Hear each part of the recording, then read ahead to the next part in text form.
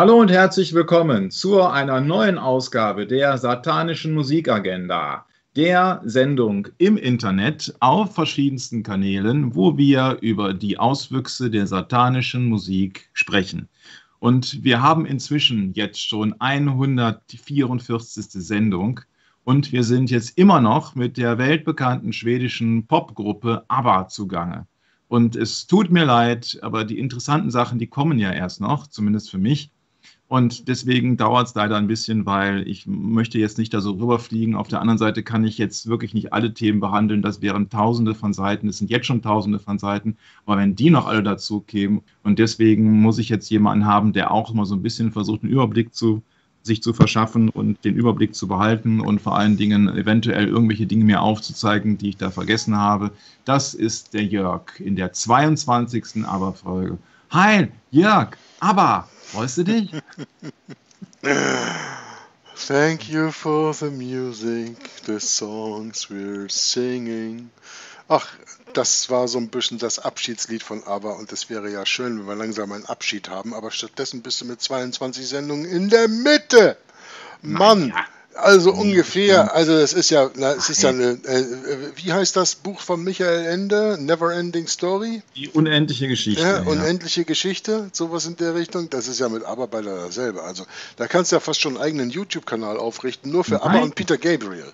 Ich, ich wollte sowas wie Peter Gabriel nie mehr machen, aber dann kam bei aber wirklich eins zum anderen. Und deswegen sind wir jetzt bei, mit dem eins sind wir schon durch und jetzt kommen wir zu dem anderen. Dann hoffe ich mal nicht, dass du so eine Gruppe wie Deeper Schmort nochmal in der Tiefe behandelst, weil dann wirst nein, du auch nicht Nein, nein, nein, nein, keine Sorge, keine Sorge. Mir geht das mit aber auch langsam jetzt so. Ich kann einfach nicht mehr sehen, weil ich, ich kann die Lieder auch nicht mehr hören, weil jedes Mal kommt natürlich jetzt irgendein Gedanke bei mir hoch, wo ich denke, ach ja, stimmt, das hast du da und das stimmt doch gar nicht und das ist gelogen und das ist so und das ist ganz anders. Also ich kann mich da jetzt bei aber mittlerweile gar nicht mehr entspannen und damit ich das endlich jetzt hier wegarbeiten kann, machen wir jetzt direkt die nächste Sendung. 144, ja, also aber die 22. Wir, du arbeitest das jetzt in einem äh, Tempo weg, lass uns mal sagen, dass, ähm, dass du das, wie man so schön im Englischen sagt, that the monkey gets off your back, dass dir die Last von der Schulter genommen wird, weil es ist ja im Grunde, ähm, man kann es ja noch nicht anders ausdrücken, es ist ja eine Arbeit, die vom Heiligen Geist geleitet wird. Und es ist ja eine Information, die raus muss. Und wir wollen ja anderen Leuten damit helfen. Wir machen das ja nicht zur Selbstbelustigung. Wir machen das nicht, weil wir aber was Schlechtes wollen, aber weil wir den Menschen etwas Schlechtes wollen. Wir machen das, um die Leute, die vom Teufel so dermaßen betrogen wurden, aufzuzeigen, wie sie betrogen wurden. Ich habe heute Nachmittag habe ich Weine geliefert und ähm, es, war, es war ein sehr treuer Kunde. Und seine Frau hat auch schon öfter Gesundheitsprobleme gehabt und ähm, so, eine, so eine kleine, ganz schlanke Frau, sehr quirlig und, und äh, ja, ich hatte wieder mal angefangen über die Bibel zu sprechen und die hat einen Geist, der will das nicht. Und das hat sich dahin geäußert, dass sie nachher überhaupt keine Argumente mehr hatte und überhaupt meine Fragen gar nicht mehr beantworten konnte. Hat sich einfach umgedreht und ist gegangen. Solche Leute gibt es. Die mhm. können einfach, wenn du die mit der Wahrheit, wenn du die mit dem Heiligen Geist konfrontierst, dann sagt deren Geist, mach, dass du hier rauskommst. Ich kann das nicht. Ich ja, kann da nicht gegen anstehen. Genau wie Jesus Christus das auch hatte in der Begegnung mit den Dämonen, die gesagt haben, Jesus Christus, was machst du hier? Bist du gekommen, um uns vor unserer Zeit zu verurteilen? Sie sind machtlos dagegen, gegen die Wahrheit, weißt du? Und deswegen ist es, Michael, so je mehr Leute wir hiermit erreichen, je mehr Leuten wir deutlich machen, wie betrogen sie ihr ganzes Leben vor allen Dingen mit solchen Sachen sind, mit, mit so augenscheinlich, also augenscheinlich, das, augenscheinlich ist das, ist das verkehrte Wort, das sagt man im Flämischen so Offensichtlich. offensichtlich. Ähm, ja, nee, eben nicht mit so offensichtlich, weil die, die, der Betrug mit Subtil. aber ist ja nicht so offensichtlich, das ist ja gerade das Problem. Aber mit solchen, mit, mit solchen Dingen, die so ähm, subtil. Ja, der Betrug ist so subtil, dass das so hintenrum passiert über diese, so weißt du, das ist wie einer, der dir die, der dir die Hand auf die Schulter legt und sagt so von, ey, das ist mein Freund, aber du siehst nicht seine andere Hand, die ein Messer in der Hand hält und sich gleichzeitig hinten in der Rückenmark reinbohrt, wenn du nicht aufpasst. Und genau so ist das. Wir sind so in die, in die, äh, wie sagt man, in, in den Schlaf gesungen, kann man schon fast sagen, ja, geistig, durch ABBA und auch durch andere Gruppen, aber hauptsächlich durch solche Leute wie ABBA oder vergleichsweise, dass wir überhaupt nicht merken, wie dieser Betrug da ist. Und deswegen sind diese Sendungen so furchtbar wichtig, auch wenn es dir im Augenblick lass uns mal sagen, ein bisschen über den Kopf wächst fast. Auf der anderen Seite würde ich sagen, weißt du was, nimm da mal einen Monat Pause, dann geht das vielleicht auch wieder. Aber mal sehen, wie wir das weitermachen. Ähm, ich freue mich jedenfalls, die 144. Sendung und die äh, 22. über ABBA hier miterleben zu dürfen und den Leuten aufzuzeigen, wie subtil die Schlange arbeitet, die ja bereits in der Bibel geschrieben ist, als das äh, listigste Tier im Garten von Eden. Und das hat sich auch nicht verändert. Der Garten von Eden ist nur größer geworden, umfasst heute die ganze Welt. Und die Schlange ist immer noch das listigste Tier. Und die Schlange ist der Drache, der Teufel, der Satan, der große Drache, der aus dem Himmel geschleudert wurde.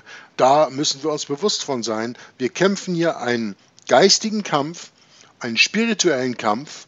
Und dafür müssen wir gerüstet sein. Und das können wir nur, wenn wir die Bibel lesen. Und deswegen wollen wir die Leute aufgrund dieser Sendung dahin bringen, dass sie ihre Bibel lesen dass sie Sachen wie diese Musik fallen lassen und dass sie begreifen von da in dem, in dem Vergnügen, was der Teufel für uns erfunden hat, da nimmt er im Grunde die Freude mit weg, die wir empfinden, wenn wir das Wort Gottes lesen und wenn wir ihn kennenlernen. Und dadurch, wenn wir ihn kennenlernen, werden wir erst richtig befreit und können wir richtig genießen von diesem Leben. Das wollte ich mal eben zur etwas längeren Einleitung zu diesem Thema sagen. Ähm, ja, bitte Michael, dann fahr mal fort.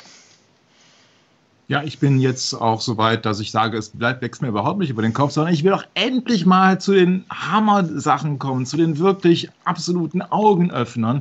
Und ich muss trotzdem immer noch den Umweg nehmen, muss sagen, das ist aber auch wichtig und das kommt, das ist alles ein Schritt in Schritt in Schritt in Schritt in Schritt zu nachher dem großen Finale sozusagen, auch wenn es vielleicht den einen oder anderen enttäuschen würde, wo es vielleicht gar nicht über einen, äh, einen Liedtext nachher geht, sondern um eine ganz andere Sache. Also, wir machen mal weiter. Ich versuche jetzt hier mal äh, Stoff durchzukriegen.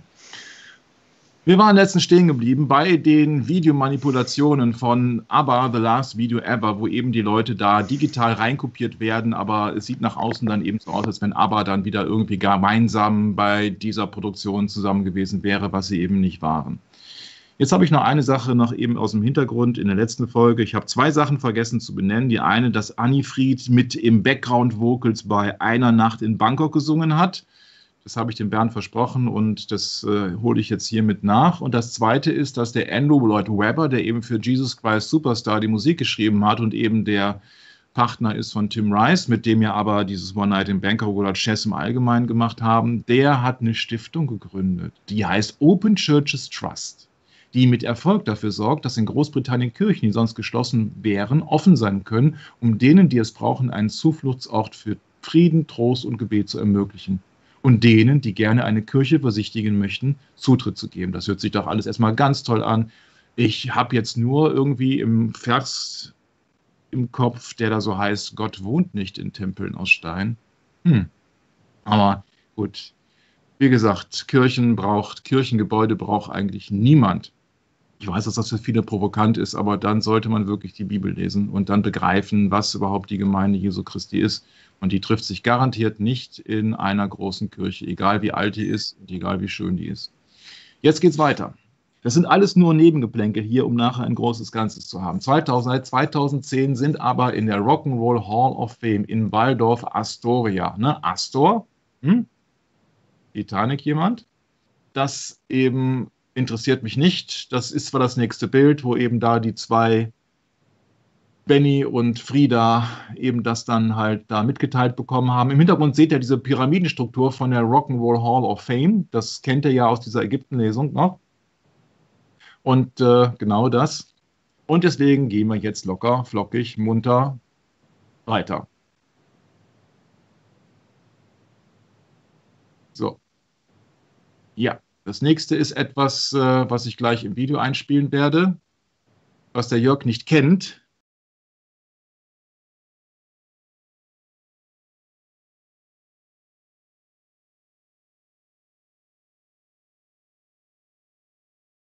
Es geht sich darum, dass hier im ABBA-Museum in Stockholm, was ja schon seit einigen Jahren unter Leitung von Björn Ulvaeus, wem auch sonst, da eben äh, schon seine Pforten geöffnet hat, eine Hologrammband von ABBA spielt, die dann also quasi virtuell da erscheinen. Und jeder kann sich dann dazu stellen und dann bei Mamma Mia zum Beispiel dann halt dann auch so tun, als ob er das fünfte Mitglied bei ABBA ist.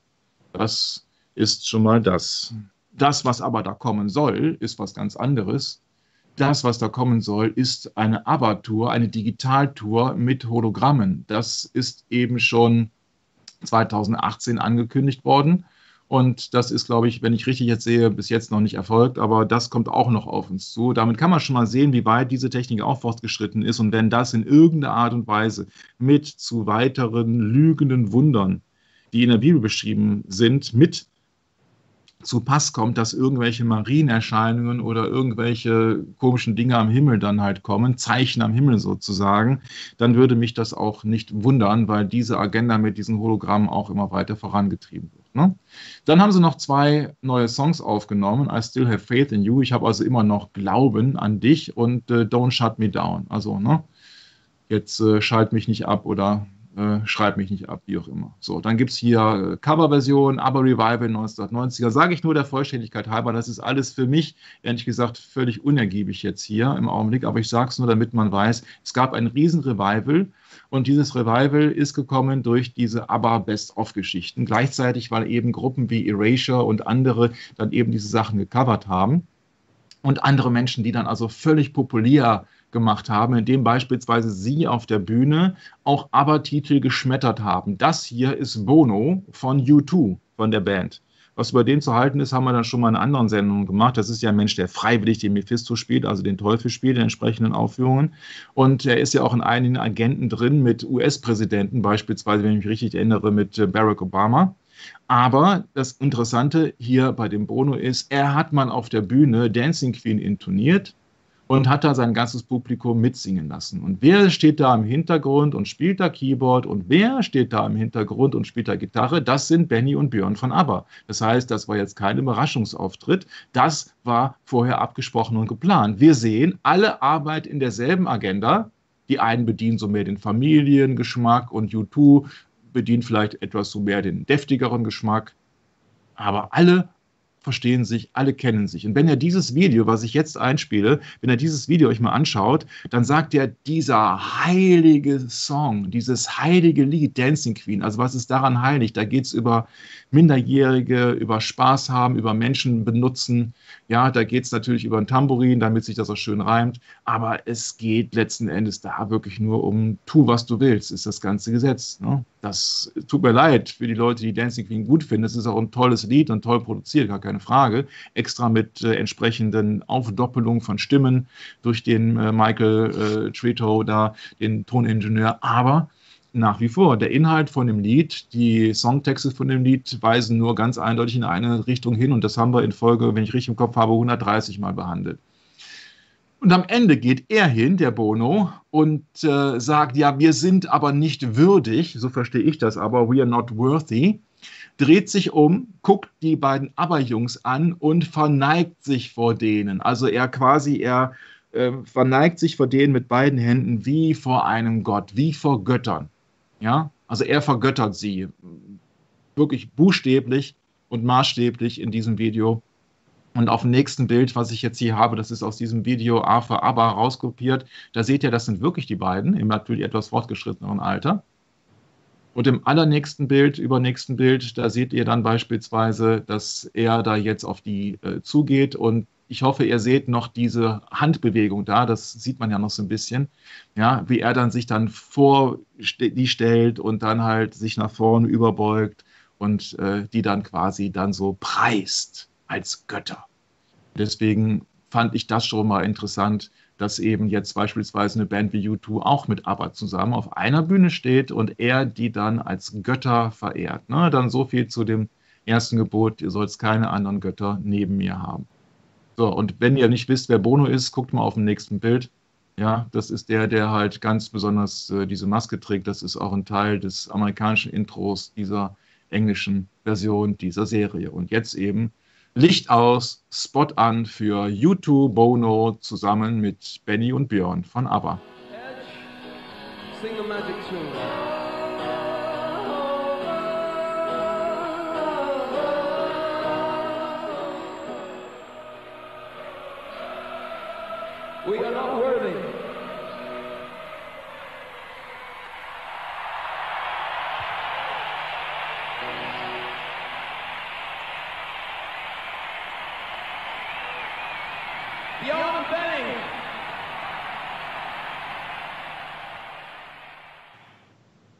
Soweit dieser Clip, dass ihr also jetzt wirklich seht. Also das ist genreübergreifend. U2 haben jetzt mit der Musik von ABBA nicht wirklich irgendetwas zu tun, außer dass die beide sehr erfolgreich sind. Aber es, man sieht also da wieder, die Grenzen sind da fließend. Wer Erfolg hat, äh, muss letzten Endes dieser dunklen Seite huldigen. Das tun die beide sehr erfolgreich. ABBA Gold belegte in zwölf Ländern Platz 1. Für die vier ABBA-Mitglieder kam der Erfolg völlig überraschend und äh, dann ist das Album 2008 nochmal Nummer 1 in den USA geworden, aufgrund der Popularität des Kinofilms Mamma Mia. Und da könnt ihr euch jetzt ja denken, welches Thema jetzt kommt. Ja, obwohl die Gruppe selbst nicht mehr aktiv war, erhielt aber 1993 aus aller Welt Auszeichnungen als erfolgreichste internationale Popgruppe des Jahres, so auch den World Music Award, also den Weltmusikpreis. 1999 kam mit der schwedischen Popgruppe A-Teens, die zunächst als ABBA-Teens gegründet war, das sie wahrscheinlich nicht machen durften, nur echt mit Pentagramm, kam eben jetzt nochmal aufgebrühte Versionen für ein etwas jüngeres Publikum von eben diesen Sachen. Natürlich Gimme, Gimme, Gimme, A Man After Midnight darf nicht fehlen. Tja, nur echt mit Pentagramm, ne? 18s, genau. Ist ja nur mal eine Beispiel. Es gab auch andere Bands, wie hier Björn Again. Wir hatten ja auch schon mal diese Coverband, die da angeblich der Wladimir Putin da ne, gebietet hat. Und so weiter und so fort. Hier seht ihr jetzt hier mal Erasure. Da gibt es also dann auch äh, Coverversionen von ABBA. Da war ich ein ganz großer Fan von, von Erasure. Was meinst du, warum ich das hier reinkopiert habe? Habe ich dir das schon mal erzählt, ja? Ja, das hast du mal erzählt. Deswegen, das ist, weil also. der, der, äh, der Mann hinter Erasure, äh, Vince mhm. Clark, ist mhm. derjenige, der damals Depeche Mode groß gemacht hat. Und als die richtig groß wurden, ist er weggegangen und dann hat er mit, Yazoo dann hat er Yazoo gemacht mit der, mhm. wie heißt die jetzt wieder? Ich komme jetzt nicht auf den Namen. Alison Moyer. Alison Moyer, genau, danke. Don't Go, ihr Riesenhit. Mhm. Das muss so 1982, 83 ja, gewesen Ecke, sein. Ja. ja, weil ich kann mich noch erinnern, wir haben damals eine Klassenreise gemacht und da wurden zwei Liter rauf und runter gespielt und das eine war äh, Don't Go von Yazoo und das andere war, kriege ich jetzt gar nicht mehr auf die Reihe. Wenn ich es höre, dann muss ich mich übergeben, also lasse ich das lieber. Mhm. Und äh, dann später hat er halt mit dem ähm, Andy Bell, heißt der, glaube ich, den wir hier im Bild sehen, äh, Erasure gemacht.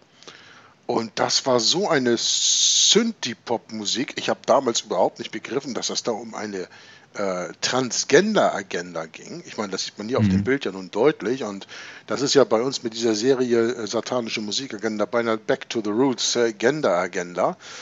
Ähm, das habe ich damals überhaupt nicht begriffen. Ich fand die Musik so toll. Und ich war auf einem Konzert von Erasure unter anderem im Stadtpark und einmal sind die aufgetreten in einem ziemlich kleinen Club auf der Reeperbahn. Und da war ich auch da. Ich fand die wirklich ganz, ganz toll. Das ist auch heute noch, wenn ich die Musik höre von den beiden. Ne? Ich kann es nicht mhm. helfen. Ne? Mhm. Ich finde die gut. Mhm. Man darf nur nicht drüber nachdenken, was das bedeutet. Aber ich finde die gut. Wie gesagt, die 90er war so dieses Revival-Alter. 82 haben sie sich ja eine Pause gegönnt, also das ist ja auch wieder gelogen. Im Endeffekt haben sie sich 82 aufgelöst, aber sie haben halt nach außen gesagt, sie würden mal eine Pause machen. Und danach haben die ja dieses Musical gemacht, Chess. So, jetzt geht's weiter über Erasure nach, mit Björn Again, habe ich ja gerade schon benannt. Die haben sich 1989 gegründet, also man kann sehen, die 90er Jahre war da so dieses ABBA-Revival, so lange ist das jetzt auch schon wieder her. Und äh, dann haben sie eben 2008 dieses Museum gegründet, habe ich eben schon von erzählt, wo man eben diese äh, Hologramme da bewundern kann, in Anführungsstrichen, und solche ganzen Geschichten und äh, kann sich da also als äh, totaler Fan dann halt da seine Memorab Memorabilia holen. Ich habe auch ein Exemplar hier, vielleicht blende ich das noch ein. Ich habe diese originale CD, die man da bekommt. Die habe ich über einen Freund äh, letzte Woche zugeschickt bekommen. Also es gibt auch Leute, die einem hier dementsprechend ein bisschen helfen. Geht weiter. Musikalischer Stil ist auch klar, brauchen wir nicht drüber zu erzählen. Vorbilder Len McCartney, wissen wir alles. Das ist wie gesagt hier, das ist nur Wikipedia. Wir kommen gleich mal zu den interessanten Dingen. Ne? Ulveus zog sich meistens allein zurück, um einen passenden Text zu finden. Ja, aber auch nur meistens. Ne? Im Endeffekt gibt es auch andere Leute, die da hinten rum gesagt haben, nö, das Ding heißt jetzt anders. Oder hat jetzt anders zu heißen. Ne? Und nicht nur englischsprachige Menschen, nicht nur Muttersprachler damit ist natürlich jetzt hier beispielsweise auch Ring Ring gemeint. In den Anfangsjahren hat auch eben der Sticker eine ganze Menge da reingemacht und jetzt kommt die erste, der erste Schwindelanfall. So ist laut Björn Ulvaeus, der Song Slipping Through My Fingers, das einzige wirklich autobiografische Lied, das er je komponiert hat. Die einfühlsame Ballade, die das schnelle Heranwachsen der eigenen Kinder aus Sicht der Eltern thematisiert, ist seiner Tochter Linda, die er mit Agneta hat, die erste Tochter, gewidmet. Im direkten Gegensatz, hier fehlt ein R, schreibt Agneta auf ihrer Webseite aus der Wayback Machine, die das Scheitern ihrer Heirat inspirierte Ulveus, um eben den Text zu schreiben zu Der Gewinner kriegt alles, the winner takes it all. So, dieses ist nicht mehr auf der Webseite enthalten und ist hier ein Link, den ich da gefunden habe. Ich habe den mal versucht zu recherchieren, den habe ich nicht mehr, aber auf Wayback Machine gibt es den vielleicht noch auf jeden Fall. Also da widersprechen die beiden Ehepartner sich ein drittes Indiz, weswegen ich das Lied nicht gemacht habe vorher, ist Knowing Me, Knowing You. Dieses Lied ist 77 rausgekommen. Das heißt, da war eigentlich die Ehe von den beiden schon, naja, also zumindest richtig angeknackst. Äh, wahrscheinlich haben sie auch aus vielerlei Gründen dann ein zweites Kind bekommen. Ohne, das ist jetzt völlig wertfrei, ja. Bitte nicht irgendwelche Aber-Fans, jetzt aufschreiben, nein, es ist völlig wertfrei kurz nachdem das zweite Kind ja kam, hat ja Agneta sich von Björn getrennt und nicht umgekehrt. Also ne, sie ist ja ausgezogen. Ja, ich kenne einige von den Geschichten, die kommen auch viel, viel später noch. Aber wenn ich ein Lied schreibe am 2.2.1977, was eben über eine Trennungsgeschichte geht, dann frage ich mich natürlich, wie kommt man denn auf sowas? Kein sorgenfreies Lachen mehr, durch ein leeres Haus gehen, Tränen in meinen Augen, hier endet die Geschichte, das ist auf Wiedersehen, das heißt auf Wiedersehen.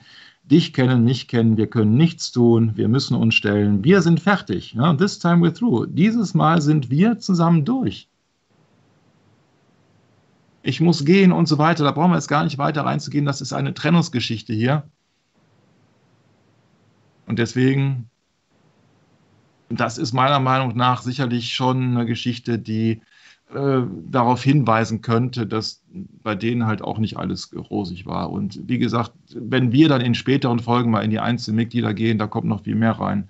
Da kommt noch viel mehr von den Dingen. Wenn man dann wirklich die Zusammenhänge mal sieht, dann ist es dann doch sehr, sehr traurig eigentlich. Okay, geht weiter. Und das war der Grund, warum ich Knowing Me, Knowing You, den Text, wo ich zuerst gedacht, ich hätte ihn vergessen, aber nein, ich hatte ihn ja an diese Stelle kopiert. Also da sieht ja Agneta in diesem Video doch äh, schauspielernd ziemlich leidend aus. Ne? Auf dem nächsten Bild, über nächsten Bild, nächsten Bild.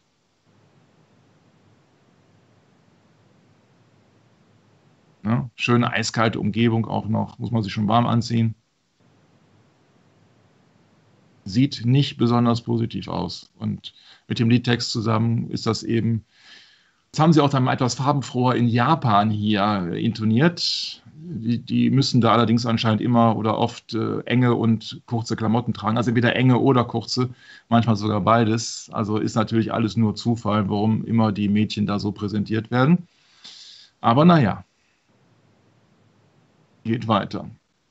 Neben der typischen Instrumentation der Musikgruppen aus dieser Zeit, die aus verschiedenen E-Gitarren, was ich ja schon gesagt habe, Bassgitarre, Klavier und Schlagzeug bestand, beziehungsweise Synthesizer, setzten die eben zusätzliche Instrumente aus Orchestern ein und aus Synthesizer ein und haben, das steht hier nicht bei, eben zwei Sänger beziehungsweise Sängerinnen geht weiter. Mit aufwendiger Studiotechnik stellte eben der Ingenieur Michael B. Tretow verschiedene Variationen her und machte eben zeitlich versetzt Stimmen und Instrumente auf. Das heißt, das ganze Ding ist also dieses sogenannte Wand der Klänge, Wall of Sound Arrangements, sodass die beiden Hauptsängerinnen eben klingen schon fast wie im Chor. Die sind also drüber gelegt, drüber gelegt, verdoppelt, verdoppelt und noch mehr und dann auch noch zeitlich verzögert, sodass also quasi so der Gesang kaum noch aufhört. Beispielsweise, gutes Beispiel ist die Entstehungsgeschichte von Dancing Queen. Da geht also wirklich nur noch Refrain, Refrain, Lied, Text, Text, Text, Text, Text und dann kommt noch der Background-Gesang dazu. Also wenn man sich die einzelnen Spuren mal anhört, was ich heute getan habe, das ist schon richtig toll gemacht, gar keine Frage. So, die haben auch viel Geld investiert ins Studio, 1977, 78 in Stockholm. Er ist sogar nach Miami geflogen. also da gab es noch kein Miami Vice. Und wir kommen jetzt natürlich zu der Geschichte, wo ich eben schon angedeutet habe, Mama Mia, das Musical und der Film. Das ist ein unscharfes Foto von allen, die auf dem Balkon stehen, die da eben mit benannt sind. Das zweite von links dürfte Pierce Brosnan sein, den dürftet ihr noch aus James Bond kennen. Meryl Streep dürftet ihr auch kennen. Und die ABBA-Leute dürftet ihr auch kennen. Ich habe das Mama Mia mal in Brüssel gesehen, in der Stadtschauburg, heißt das, glaube ich, in, in Brüssel. Mhm. Bin ich da gewesen zu einer Aufführung. Mit äh, mein Sohn war damals dabei. Ich glaube, ich war schon geschieden, ich weiß es gar nicht mehr. Und äh, ich glaube, ich hatte noch ein Freundespaar damit bei oder so. Zweimal haben wir uns das angeschaut. Ja, ist ein grausames Musical, ich weiß, dass du das zweimal gemacht hast. Äh, zeigt, zeigt, in welchem Zustand du dich vorher befanden hast. Aber gut, ähm, wir gehen jetzt nämlich genau in dieses Musical rein, was der Jörg besonders gut kennt. Ich habe mich jetzt mit diesem Musical speziell nicht beschäftigt, ich habe mich nur mit der Geschichte dieses Musicals beschäftigt. Dieses Musical hat nämlich einen großen Nachteil. Es ist, trägt ja zum Ruhm der Mitglieder und zum monetären Umsatz bei. Also es wird der Mammon bedient. Ne? Okay, geht weiter. Ich will jetzt gar nicht in die Details, wann, wo, der Soundtrack und so weiter und so fort. Ne? In Premiere, da gibt es auch einen Film von, dann waren die auf dem Balkon. Das ist alles eigentlich uninteressant. Interessant ist, worum es geht. Mamma Mia. Ein Kultmusical, also da geht es sich um Anbetung. Ne? Mamma Mia, allerbeste Unterhaltung. Mhm, machen wir mal weiter. Eine originelle Geschichte, ja, die ist sehr originell. Nach der Premiere in London 1999 eroberte, also kurz vor dem OVO, von Millennium, ja, von Peter Gabriel, eroberte Mamma Mia die Musical-Welt im Sturm. In 16 Sprachen übersetzt von mehr als 54 Millionen Zuschauern, also minus zweimal Jörg. In 400 Städten gesehen, kann man das Stück ohne Übertreibung einen Welterfolg nennen.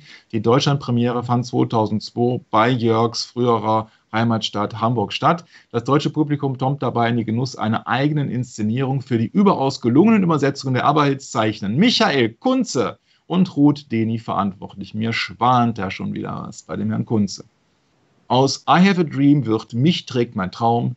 Knowing Me, Knowing You wird zu Ich bin ich, du bist du. Und statt The Winner Takes It All heißt es in der deutschen Version, der Sieger hat die Qual. Also du siehst, äh, es hat eben dann wieder eben eine ziemliche Qual an sich. Das wird eben nicht richtig übersetzt. Gut, geht weiter. Das ist auch gut so. Na, ich habe da eine andere Meinung zu, aber gut. Ne? Denn das Aber-Musical bindet die Hits geschickt in die Handlung ein. Ja, das Ding soll sich ja auch verkaufen. Geht weiter. Geht weiter unten. Spül mal, spül mal ein bisschen vor. Ja, so. Ähm, das Musical Mamma Mia generiert über 30 Millionen Zuschauer und erwirtschaftete bislang einen Umsatz von mehr als 2 Milliarden US-Dollar. Der Film dazu ist aus dem Jahre 2008 und spielte mehr als 610 US-Dollar ein und ist der erfolgreichste Musical-Film aller Zeiten. Mamma Mia ist ein Jukebox-Musical, das bekannte Musikstücke der Gruppe ABBA verwendet. Das Libretto mit der Geschichte einer alleinerziehenden Mutter Donna und ihrer Tochter Sophie, die kurz vor ihrer Heirat steht, von der britischen Autorin Catherine Johnson. Die habe ich jetzt nicht großartig eruiert. Ähm, das hat auf jeden Fall, ist das angeblich auf ihr jetzt da äh, zurückzuführen, dass das Ding eben da so ist oder beziehungsweise den Inhalt hat, den es jetzt da so eben hat. Und genau zu demjenigen kommen wir nämlich eben jetzt.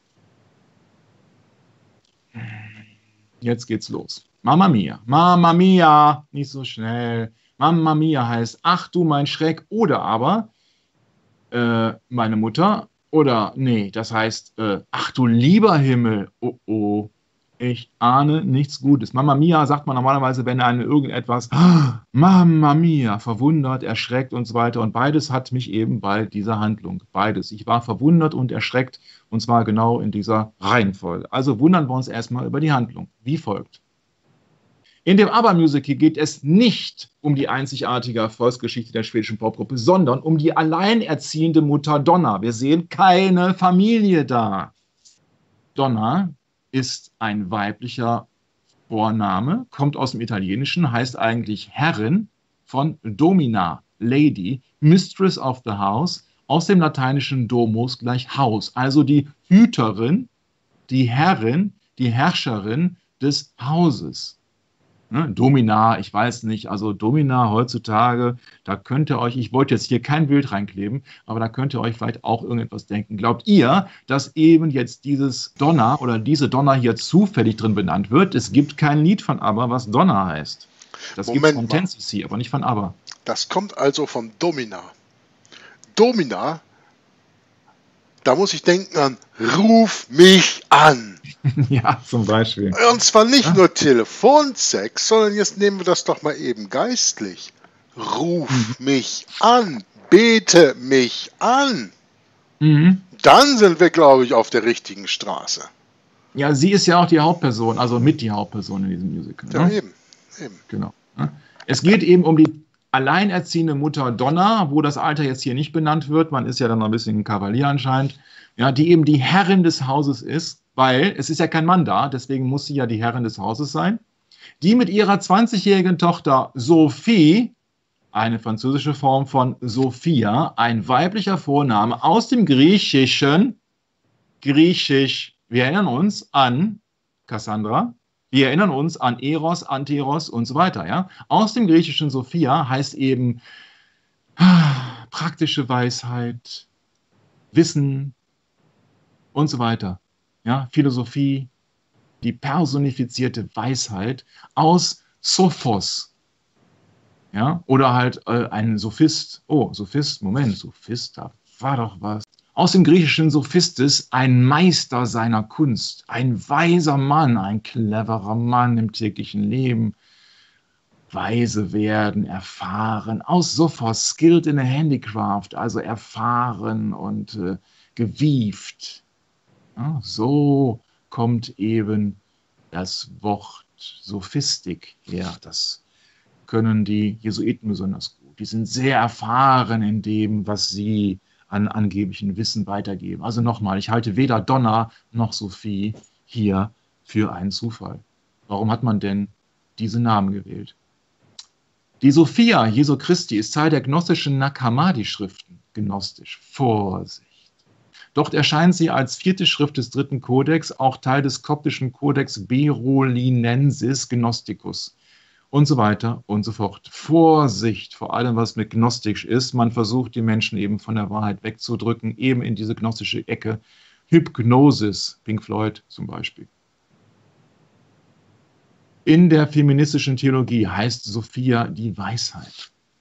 Mengenmäßig der weitaus größte Anteil an weiblichen Gottesbildern in der Bibel findet sich in der Figur der Weisheit, griechisch Sophia, die in der nachexilischen Zeit Israels eine besondere Rolle spielt. Vergleiche Weisheit 6 bis 11. Weisheit 6 bis 11? Oh, mir schwant Böses. Mir schwant nämlich ganz Böses. Das heißt, es wird hier jetzt eine Verbindung gemacht zwischen Gottesbildern und griechischer Philosophie und der Bibel. Also ganz vorsichtig sein, ganz vorsichtig, was eben da ist. Es geht sich bei der Gnostik eben nicht, oder bei der Gnosis besser gesagt, geht sich nämlich eben nicht um eine bibeltreue Übersetzung. Im Gegenteil dessen, es geht sich damit um letzten Endes den Mensch in den Vordergrund zu stellen. Denn äh, Sophie, Sophistik, das hat eben nichts mit dem wirklichen Wissen oder der Weisheit der Bibel zu tun. Also gucken wir uns weiter an. Warum hat man Sophia als griechischen Namen genommen? Tja, weil die Mutter Donna seit den 1970er Jahren auf einer kleinen griechischen Insel lebt und dort eine selbstgebaute Taverne betreibt. Taverne kommt aus lateinisch taberna, lokal steht für eine Gastwirtschaft oder Schenke, also da, wo ausgeschenkt wird. Zu Deutsch Wein, Weib, Gesang. Das würde ja ziemlich gut zu unserer Sendung und zu ABBA passen. Mama Mia verbindet die Top-Hits von ABBA mit einer schwungvollen Geschichte rund um die Powerfrau Donna, weil Mann ist ja nicht da, und drei ihrer ehemaligen Liebhaber zu einem mitreißenden Musical. Also, drei ehemalige Liebhaber. Das riecht nach Unzucht. Das riecht nicht nur, das ist es auch. Weil, wir kommen jetzt gleich dazu, Trotz des spartanischen Mauerteils oder des spartanischen Bühnenbilds, das nur aus zwei Mauerteilen bestellt, die sich verschieben lassen und so weiter und so fort, wird man als zu sehr in die turbulente Geschichte hineingezogen oder gesogen. Blaues Licht vermittelt das Gefühl, am Meer zu sein. Aha, aha, aha.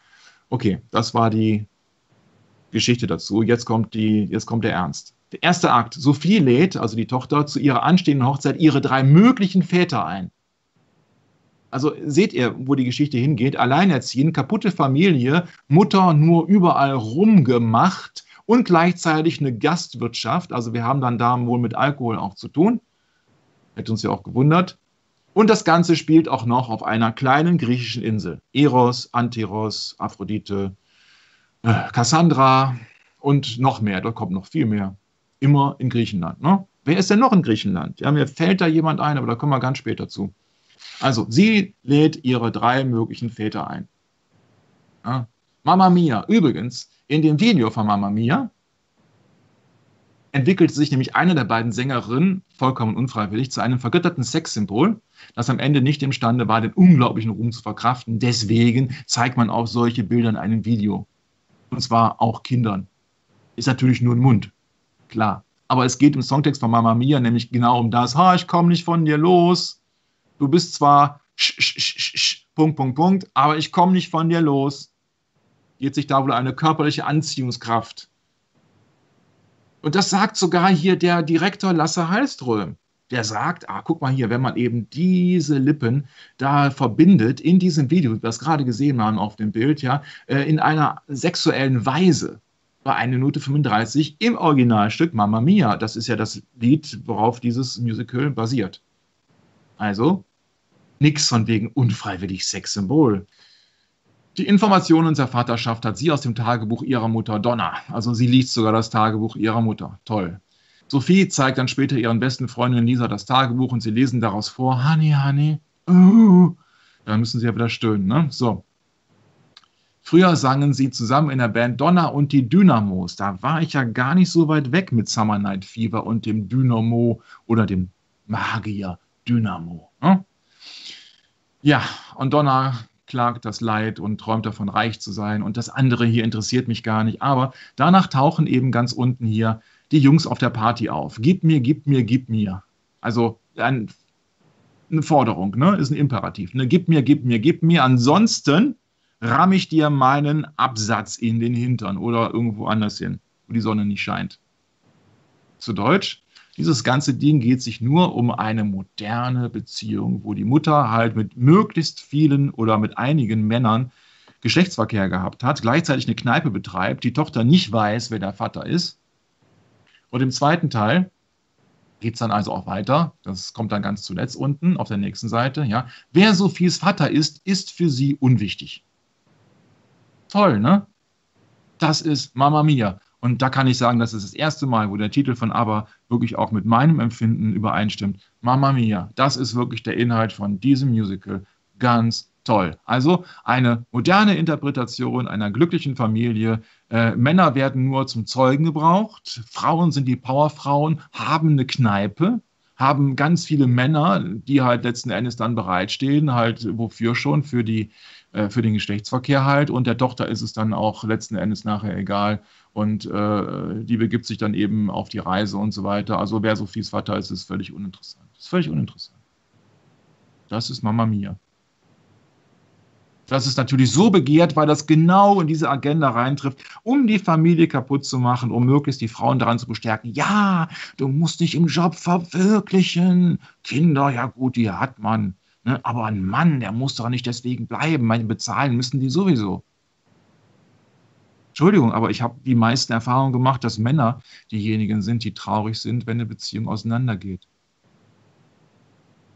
Weil die Frauen meistens das Sorgerecht bekommen und äh, natürlich gibt es auch Männer, die das Unterhalt nicht bezahlen. Da habe ich dann auch so genauso wenig Verständnis für.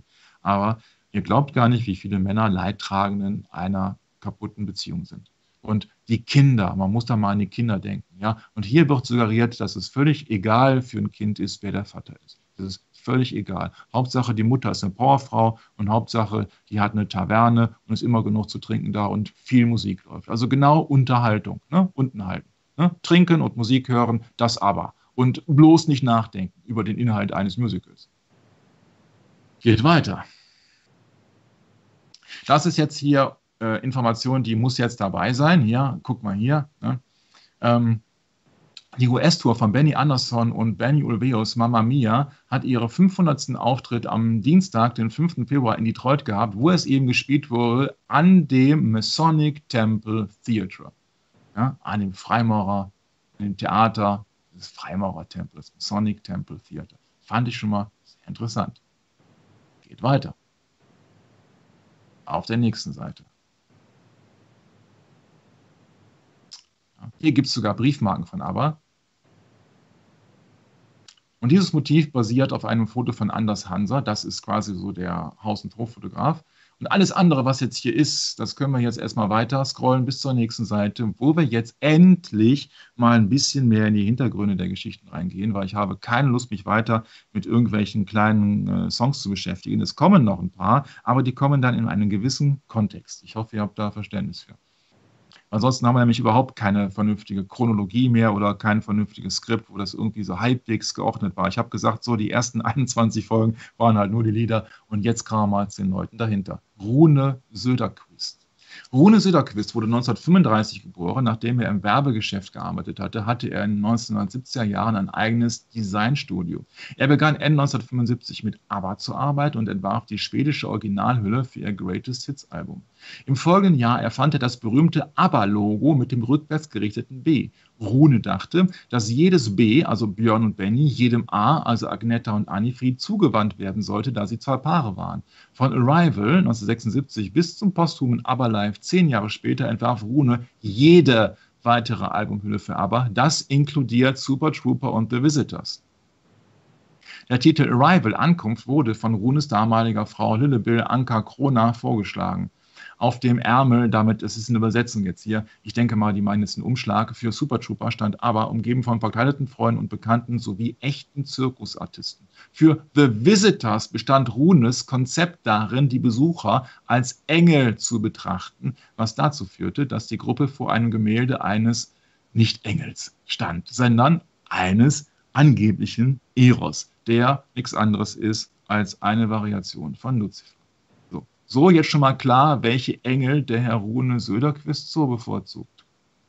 Zumindest bevorzugt er griechische Engel, weil Eros aus der griechischen Mythologie kommt. Im Übrigen genau wie Mamma Mia, im Übrigen genau wie Cassandra. Hm? Langsam macht sich ein Schema breit, oder? Rune war auch der visuelle Architekt hinter Abbas Tourneen und er erzielte auch danach noch Erfolge auf dem Gebiet der Kunst. Und was wir von der Kunst zu halten haben, sollten wir dann spätestens nach unseren Lesungen Satanismus in der Kunst Teil 1 und Teil 2 dann auch wissen, wo es dann mal um die etwas deftigeren Sachen geht. Aber nochmal eben, für Visitors bestand sein Konzept darin, die Besucher, ja, die Visitors, die V-Leute, die Außerirdischen als Engel zu betrachten. So viel mal dazu, dass meine Hypothese mit den Besuchern wahrscheinlich nicht so ganz von der Hand zu weisen ist. Ne? Denn das war das Konzept also die Besucher sind Engel. Engel. Plural. Und nicht benannt, welche Engel. Und wenn er sagt, dann stellen wir die einfach mal vor Eros, dann ist es eben nicht Gabriel und eben nicht Michael, sondern dann sind es gefallene Engel. Oder Abbildungen gefallener Engel, muss man besser sagen. Okay, also extremst negativ, was dieser Mensch da gemacht hat. Wissentlich oder unwissentlich, kann ich jetzt noch nicht sagen. Geht weiter. Also, höchst interessante Person, der Herr Rune Söderquist schon mal, höchst interessante Person, geht aber nachher noch mit ihm weiter. Anders Hanser, der Fotograf, 1945 geboren, seit seiner Jugend begeisterter Fotograf. Nach seiner Karriere als Radioproduzent machte er die Fotografie Ende der 70er Jahre zu seiner Vollzeitbeschäftigung. Ich meine, ist ja auch ganz klar, wenn man aber Fotograf ist, kann man das dann auch. Ne? Er gründete seine eigene Firma, die heute hauptsächlich Video- und Multislide-Präsentationen produziert. Er stellte eine 78er Radioserie zusammen, der aber erscheinen sollte. Die Gruppe lehnte ab, aber der Manager Stikan bot an, daran teilzunehmen. Bei einem Besuch in den Polar Music Büros, da wo die ganzen Platten da aufgenommen worden sind, produziert worden sind, traf Anders Vizepräsidentin, muss man dazu sagen, Görel Jonsen, das ist nämlich eine Frau, eine Romanze blühte auf und das Paar war zwei Jahre später verheiratet. Anders wurde bald ein persönlicher Freund der ABBA-Mitglieder, was ihm in seiner Arbeit als Fotograf einen beispiellosen Zugang zur Gruppe verschaffte. Tja, und half ihnen auch bei den Kulissen und beim Erstellen der Musikvideos. Jetzt guckt euch mal die Widmung von ABBA an. An ihn. Du warst einer dieser Fotografen anders und möge Gott uns unsere Sünden vergeben. Jetzt weiser wissen wir, welche wichtige Rolle diese ganzen Bilder in Abbas Karriere gespielt haben. Nicht nur diejenigen im Studio, sondern auch die, die du auf der Tour oder im Aufnahmestudio und an vielen anderen Plätzen geschossen hast. Und sie werden auch weiterhin eine wichtige Rolle spielen, um die Geschichte der Popmusik zu erzählen. Wir haben wirklich Karl Magnus und dein Buch genossen. Und dasselbe werden auch unsere Kinder und Enkel. Nochmal der erste Satz. Du warst einer dieser Fotografen anders und möge Gott uns unsere Sünden vergeben. Was hat dieser Satz in dieser Widmung zu tun? Dass man, ich, find, ich fand das sowas von abstrus. Also, sie sprechen da von irgendwelchen Sünden vergeben. Ich weiß ja nicht, welche Bilder die da meinen. Aber sie sagen jetzt, wir sind jetzt weiser geworden. Also ich habe jetzt nicht so den Eindruck, aber lasst uns doch mal weitergehen im Skript. Ich fand das einen super interessanten Ausschnitt, den ich hier extra in einem der Bücher, das ich von Aber habe, gefunden habe. May Gott vergive us our sins. Gucken wir uns mal an. Gut, geht weiter. Mit Obe Sandström, den Modedesigner. Ein schwedischer Modedesigner und Lehrer, am besten dafür bekannt, alle Bühnenoutfits der Musikgruppe ABBA mit Ausnahme ihrer Waterloo-Kostüme beim Eurovision Song Contest 1974 zu entwerfen. Er wurde 1944, Entschuldigung, er wurde 1944 in Nordschweden geboren. Sein Tagesjob ist es, Lehrer an der Spagna High School zu sein. Seine Hauptverantwortung liegt in der einzigartigen Zooabteilung mit aller Arten von Tieren. Parallel zum Interesse an Naturwissenschaften und der Welt der Tiere hatte er auch eine Leidenschaft für Kleidungsdesign. Er entwarf in den 70er Jahren zusammen mit seinem Partner Lars Vigenius, der hat übrigens genäht, sobald ich jetzt da recherchiert habe, die meisten Kostüme von ABBA in der Firma Artist Dressing. Ein bekanntes Beispiel für seine Entwürfe sind die gelben und blauen Katzenkleider von Agneta und Frieda. Der weiße Oberroll mit grün-weißem Umhang, wie er von Agneta auf den Touren 74, 75 und im Video Mamma Mia getragen wurde, ist ein weiteres erkennbares Element. Dies war das Kostüm, das Agneta half, den Tag, also den Titel Sexiest Hintern in der Popmusik zu bekommen. Also, der half ihr. Nochmal der Running Gag. Von den beiden Sängerinnen entwickelte sich die eine vollkommen unfreiwillig zu einem vergötterten Sexsymbol, das am Ende nicht imstande war, den unglaublichen Ruhm zu verkraften.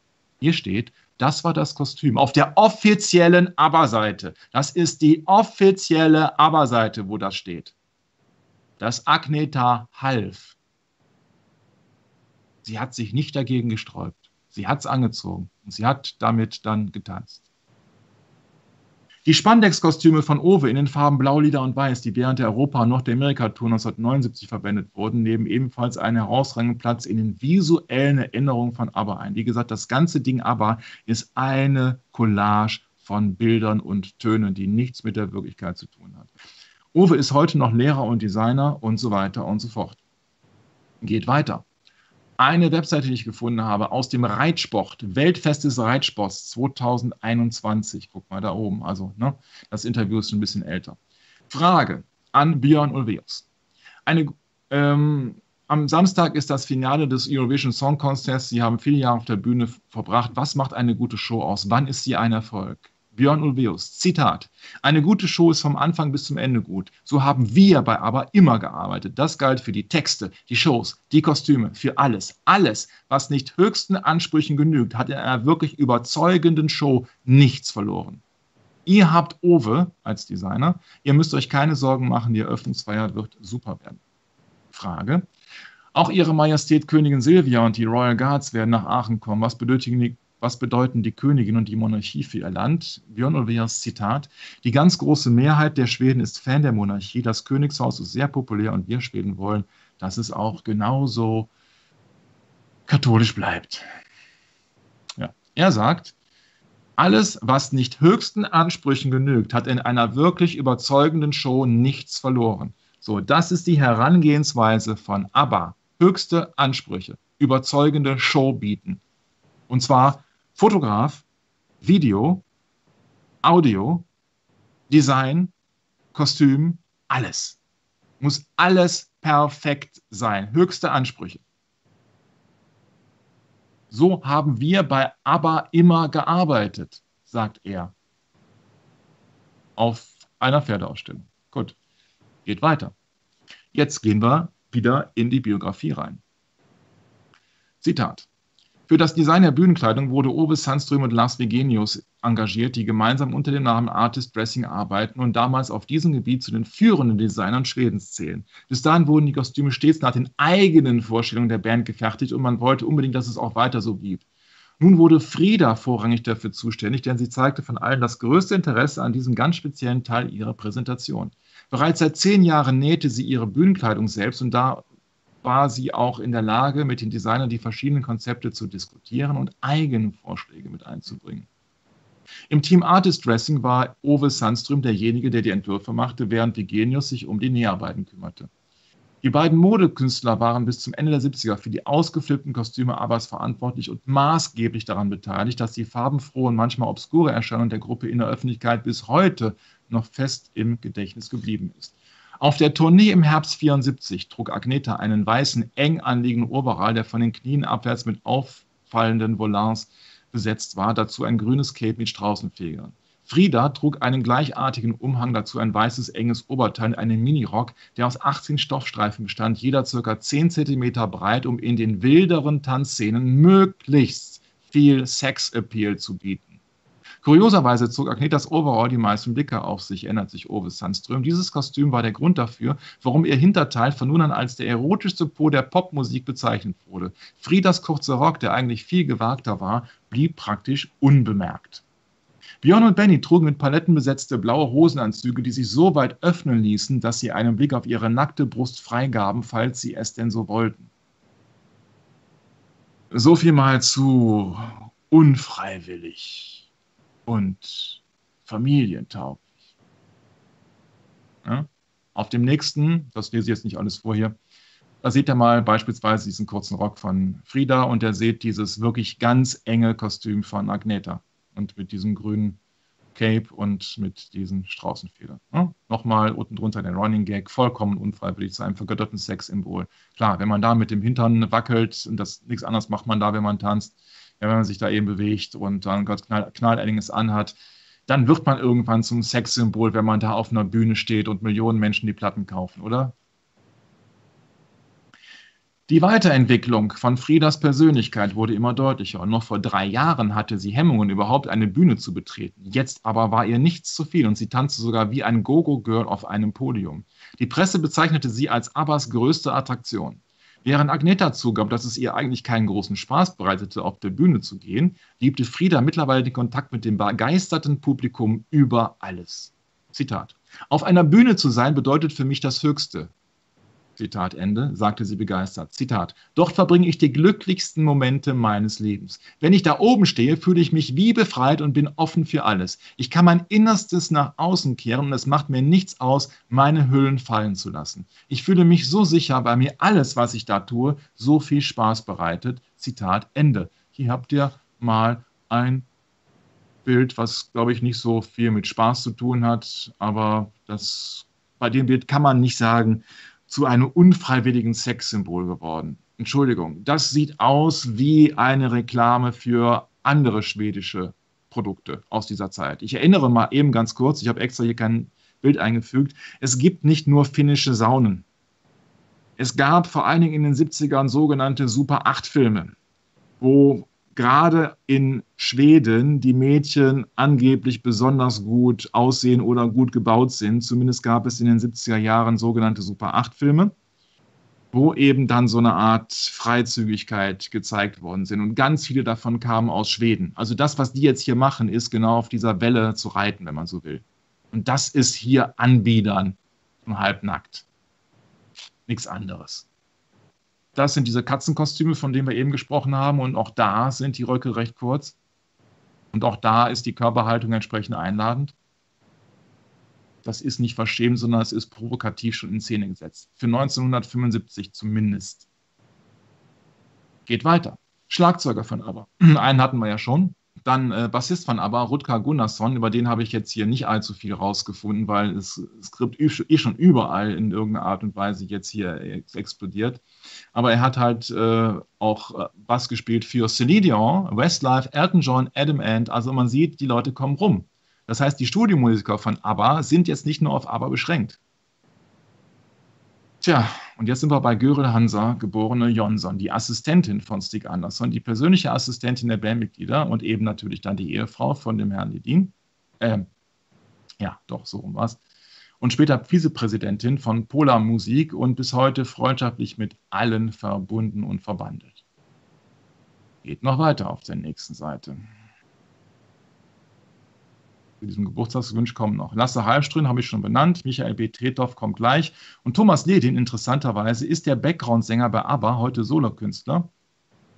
Und da kommt dann später noch eine Biografie eben von Marie Ledin. Lasst euch mal überraschen, wie das alles zusammenhängt.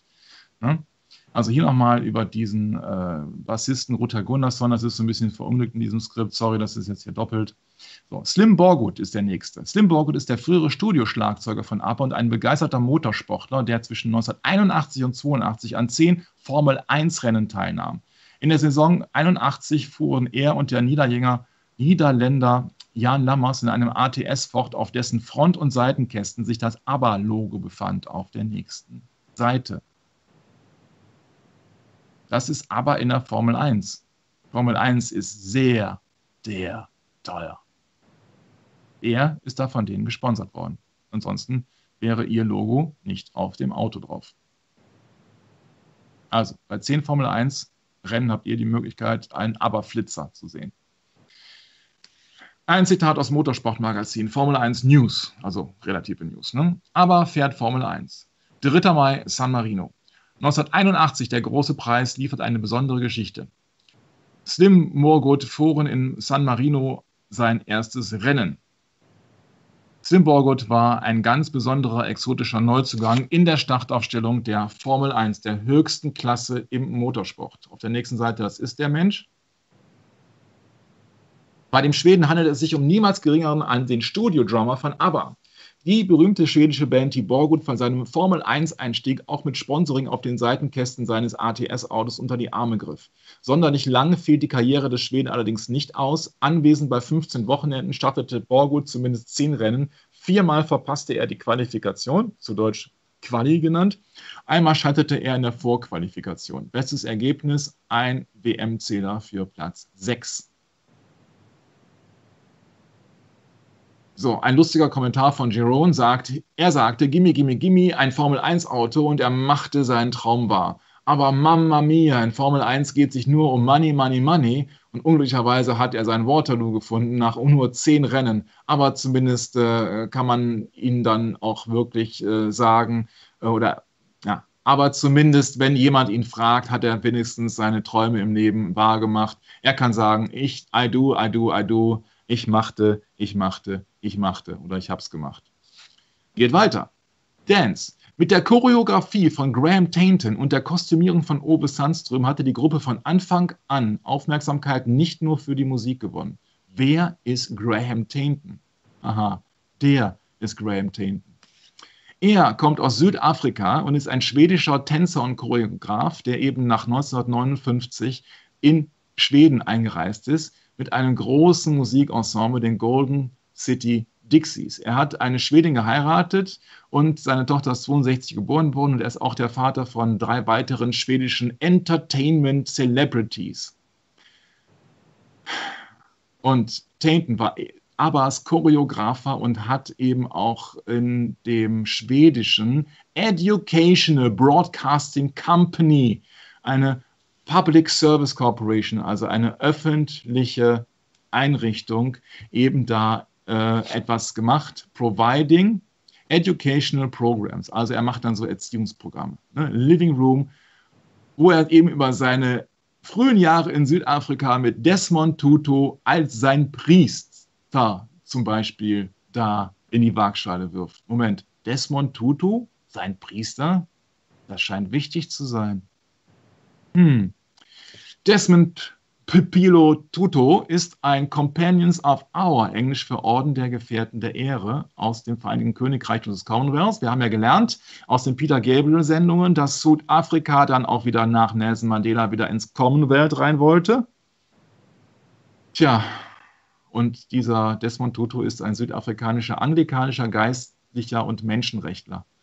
Ähm, ich habe immer gedacht, die Menschen haben keine Rechte in der Bibel, aber wir schauen mal an, was er denn für ein Priester ist. Er war von 86 bis 96 Erzbischof von Kapstadt und Primat, Primas der Church of the Province of Südafrika. Und er wurde 1984 mit dem Friedensnobelpreis ausgezeichnet. Wo ist die Alarmsirene, wenn man eine braucht? Er hat interessanterweise vier Jahre lang mit seiner Familie in London gelebt, wo er am King's College einen Bachelor of Divinity Honors und den Masterabschluss in Theologie erwarb. Danach ging er nach Südafrika zurück und war dann Kaplan und so weiter und so fort und ist dann halt immer weiter befördert worden. Tutu ist zudem einer von 350 Botschaftern der Klimaschutzorganisation 350.org. Also ein Priester, der sich für Klimaschutz einsetzt. Hm, das ist schon mal sehr seltsam. Und für Menschenrechte, das ist noch seltsamer. Also müssen wir mal ein bisschen weiter gucken. Was steht hier? 2007 gründete Tutu zusammen mit Nelson Mandela und anderen weltweit bekannten ehemaligen Amtsträgern die Gruppe The Elders, deren Ziel die Mithilfe bei der Lösung globaler Probleme ist. Tutu war der erste Vorsitzende der Elders, also der Älteren, und wurde nach dem Ende seiner Amtszeit 2013 zum Ehrenmitglied ernannt. Dann gibt es noch eine Tutu Friedens Foundation mit Hauptsitz von New York in den USA. Und auf der nächsten Seite lesen wir dann, dass er komische Aussagen macht. Er hat gesagt, Zitat, ich schäme mich, dass ich diesen Haufen Speichellecker meine Regierung nennen muss. Also ein komischer Satz von einem Priester, finde ich das. Sehr komischen Satz. Und da seht ihr ihn zusammen mit, Moment mal, das ist doch der Dalai Lama.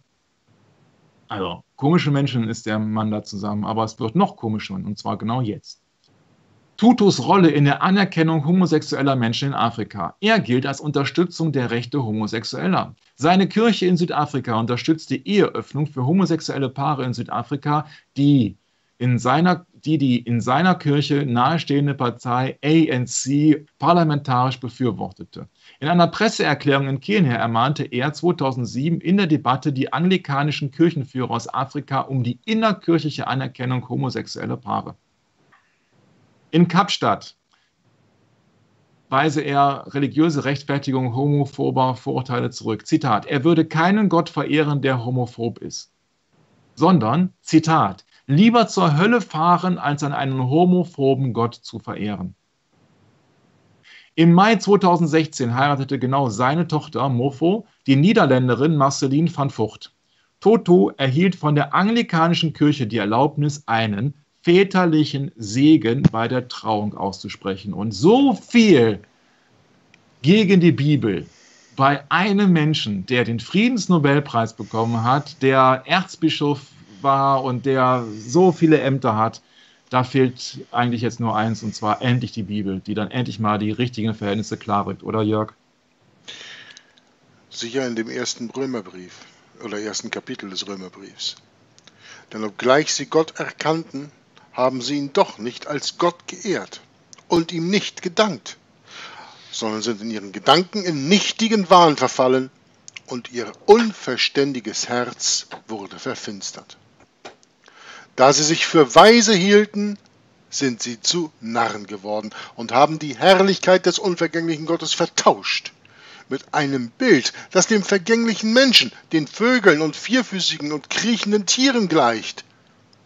Darum hat sie Gott auch dahin gegeben in die Begierden ihrer Herzen zur Unreinheit, so dass sie ihre eigenen Leiber untereinander entehren, sie, welche die Wahrheit Gottes mit der Lüge vertauschten und dem Geschöpf Ehre und Gottesdienst erwiesen, anstatt dem Schöpfer, der gelobt ist, in Ewigkeit. Amen. Darum hat sie Gott auch dahingegeben in entehrende Leidenschaften, denn ihre Frauen haben den natürlichen Verkehr vertauscht mit dem widernatürlichen. Gleicherweise haben auch die Männer den natürlichen Verkehr mit der Frau verlassen und sind gegeneinander entbrannt in ihre Begierde und haben Mann mit Mann Schande getrieben und den verdienten Lohn ihrer Verirrung an sich selbst empfangen und gleich wie sie Gott nicht in der Anerkennung würdigten, hat Gott auch sie dahingegeben, in unwürdige Gesinnung zu verüben, was sich nicht geziemt. Als solche, die voll sind von aller Ungerechtigkeit, Unzucht, Schlechtigkeit, Habsucht, Bosheit, voll Neid, Mordlust, Streit, Betrug und Tücke, solche, die Gerüchte verbreiten, Verleumder, Gottesverächter, freche, übermütige Prahler, erfinderisch im Bösen, den Eltern ungehorsam, unverständig, treulos, lieblos, unversöhnlich und unbarmherzig, obwohl sie das gerechte Urteil Gottes erkennen, dass sie des Todes würdig sind, welche so etwas verüben, tun sie diese Dinge nicht nur selbst, sondern haben auch Gefallen an denen, die sie verüben. Vielen Dank, Jörg. Also das ist ein Priester, ne? Ein Priester, der Homosexuelle traut, ein Priester, der irgendwas von Hölle fahren sagt, der solche äh, Sätze von sich gibt mit Speichelleckern. Äh, das, das, geht ja, das, das hört ja gar nicht mehr auf bei dem. Also äh, anglikanische Kirche, aha, okay, toll. Also, äh, Entschuldigung, aber ich glaube, ich weiß, ihr habt den Eindruck, als wenn er nie die Bibel gelesen hätte. Ja, ist ein ja? Katholik, ne? Ja, ist ja Wahnsinn, ne? Die ist ja wirklich der absolute Bibel, ne? Wahnsinn. Ja, also das ist ja wirklich der absolute Wahnsinn. So, die Auszeichnung von denen ohne Ende. Ehrendoktor, Ehrendoktor, Friedensnobelpreis, Kaplan des Ordens von St. John. Oh, Ehrendoktor, Gandhi-Friedenspreis, du hast es nicht gesehen. Kommandeur des Ordens von Oranien-Nassau, also das ist alles nichts, äh, ne? Aber das Beste ist, glaube ich, das Bild, was jetzt kommt. Zwei, die sich gut verstehen. Desmond Tutu und Nelson Mandela. Knights of Malta. Malteserritter eben. Ja. Eben. Die Goldmedaille of Merit of the Sacred. Ja. Heilige Militär. Sacred Military. Wo steht denn das in der Bibel drin? Ja, es, es ist für mich unverständlich. Also, wie gesagt, es kann nur sein, dass äh, äh die Bibel keiner mehr liest. Ja, Malteserritter. Deswegen sind natürlich jetzt auch die Südafrika wieder seit langem, seit Nelson Mandela dran ist, jetzt wieder im Commonwealth of Nations. Ja, gucken wir uns die Medaille an, da brauchen wir gar nichts drüber zu sagen. Ein durchgekreuztes X und die ganzen anderen Sachen, die da dran sind, äh, es, hat alles keinen Sinn. Ja, das hat ja alles keinen Sinn mehr. Das sind alles Leute, die eben äh, nach außen den Priester sind und im Endeffekt Ritter sind. Kreuzritter. Heiliges Militär, ey. Meine Güte. Das Einzige, was heilig ist, ist heiliges Kanonenrohr wahrscheinlich. Das, was Gott heilig macht, ist heilig. Ja. Und alles andere ist nicht heilig. So, wir reden jetzt hier über den Tanzlehrer von ABBA immer noch, ne? So, und der hat eben, hat er eben benannt hier Desmond Tutu und Nelson Mandela. Nelson Mandela, der Rechtsanwalt, der ihn aus dem Gefängnis geholt hat während der Apartheid. So viel mal zu den Zufällen.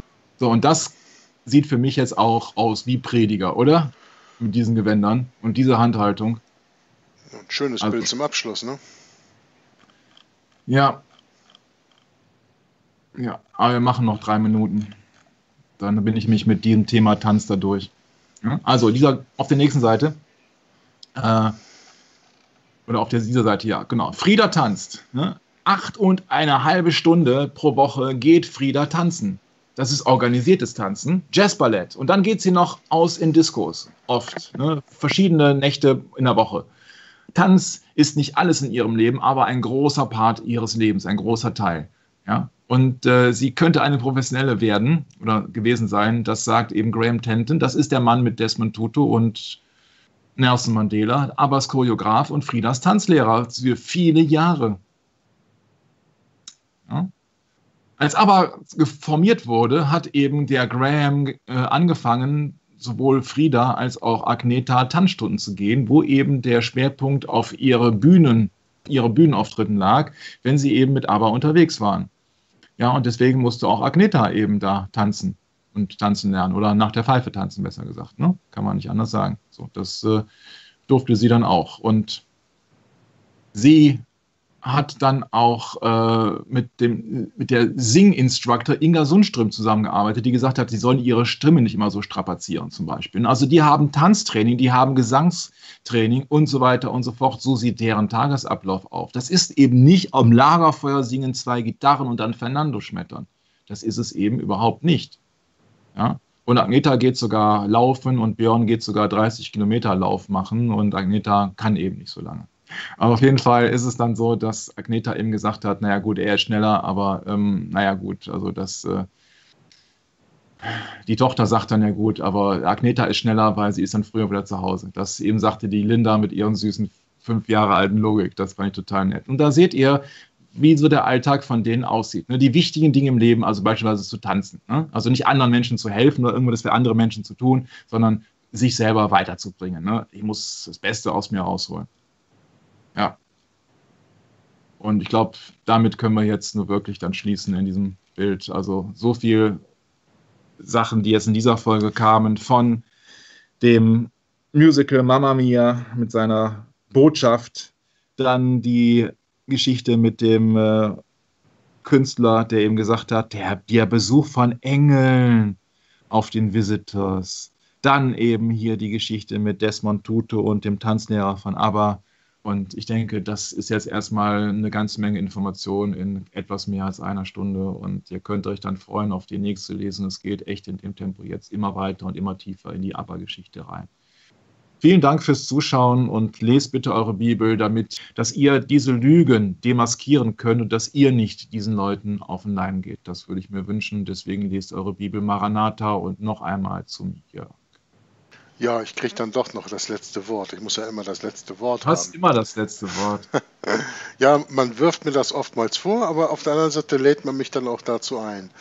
Ähm, nein, ähm, ich denke, dass es sehr wichtig war, diese Sendung heute verfolgt zu haben. Und ich denke auch, dass es für jeden wichtig ist, der vielleicht nach zehn Aber-Sendungen sagt, jetzt habe ich die Schnauze voll, jetzt mache ich eine Pause, dann schaltet zu dieser Sendung sicher wieder ein, weil jetzt haben wir einen kleinen Einblick dahinter bekommen, einen Anfang eines Einblicks dahinter bekommen, von welchen Menschen diese Schauspieler, die aber für uns dargestellt haben, von welchen Menschen die ausgebildet, geführt und geleitet wurden. Und das ist ganz wichtig. Ich hatte ja am Anfang der Sendung bereits gesagt, es geht ja um den Geist. Es ist ein geistiger Kampf, der hier auf dieser Welt geführt wird. Ja? Und es sind hier im Englischen sagt man so schön, ich finde da gar keine richtige Übersetzung für. Da heißt es Familiar Spirits. Ja? Das sind, man sagt im Englischen auch so schön, uh, Birds of a Feather flock together.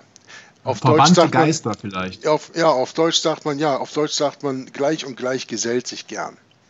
Und das ist genau der Punkt. Die ziehen einander an. Und die werden in ihren Karrieren so geleitet, dass sie alle irgendwann eben auch zusammenkommen und dass sie diese Arbeiten zusammen machen. Deswegen ist Bono mit Björn und Benny aufgetreten. Deswegen ist dieser, ähm, dieser Choreograf, hat er das gemacht, was er gemacht hat. Und ähm, genau deswegen haben die sich alle miteinander kennengelernt. Der, der Punkt ist ganz einfach, das ist alles gesteuert von Anfang an. Nur, wenn wir diese Musik verfolgen, wenn wir diese Gruppe verfolgen als sogenannte Fans von außen, dann sehen wir das alles nicht, was dahinter abläuft. Und jetzt sehen wir, dass dahinter ein riesiges teuflisches Konzept steckt. Und nur weil das so ein riesiges Konzept ist, hat es auch den Erfolg, den es hat. Aber jetzt auf der einen Seite Okay, eine weltweit sehr bekannte und sehr erfolgreiche Gruppe, da müssen wir gar nicht drüber diskutieren. Aber das ist bei anderen Gruppen auch so. Das, was Michael jetzt hier bei ABBA aufgedeckt hat, ist noch nie so deutlich geworden. Selbst in Sendungen wie Peter Gabriel und so war es vielleicht nicht so deutlich, aber genau da ist es genau dasselbe. Peter Gabriel, Genesis, Boney M., Queen, äh, Kiss, die ganzen Gruppen, die wir in der Vergangenheit besprochen haben, Earth, Wind of Fire und so weiter und so weiter. Überall laufen die Dinge zusammen und dann auf verschiedenen Leveln. Weil sonst wäre ja jeder ganz oben. Es sind nur wenige Gruppen, die ganz nach oben kommen und die kriegen halt die allerbesten zusammen äh, oder haben die besten, haben die allerbesten, zwischen Anführungszeichen, die allerbesten Menschen hinter sich, um dafür zu sorgen, dass sie so hoch gepusht werden. Aber das Prinzip ist überall dasselbe und jeder erreicht dann halt einen bestimmten Level, eine bestimmte Höhe. Und das fand ich sehr wichtig bei den Einsichten, die wir heute hier gelernt haben. Und es ist nochmal ganz, ganz deutlich geworden, dass hier mit dem Desmond Tutu unter anderem wäre ganz deutlich dargestellt, welche katholischen Mächte dahinter sind.